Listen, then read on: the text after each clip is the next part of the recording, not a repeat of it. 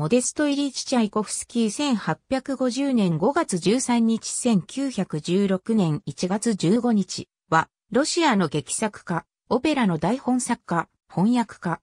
モデストは、アラパエフスクにて、作曲家のピョートル・チャイコフスキーの弟として生まれた。法学校を卒業して、法学の学位を取得。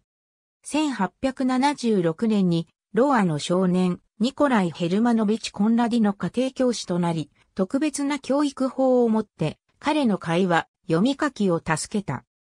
現在も、未出版のモデストの自助伝から、アレクサンドル・ポズナンスキーが引き写した概要によると、彼は、兄、ピョートルの同性愛に加えて、自分自身の同性愛についても言及を行っているということである。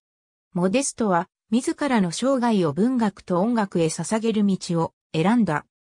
戯曲を書き、シェイクスピアのソネットをロシア語に翻訳し、兄であるピオトルをはじめエドアルド・ナープラブニーク、アルセニー・コレシチェンコ、アントン・アレンスキー、セルゲイ・ラフマニノフといった他の作曲家のオペラ台本を書いた。兄の一番の親友であった彼は、その最初の伝記を執筆するとともにクリンにチャイコフスキーの家博物館を設立したのであった。チャイコフスキー、モデスト、 The Life and Letters of Peter Ilyich Tchaikovsky、University Press of the Pacific 1から41021612 8ありがとうございます。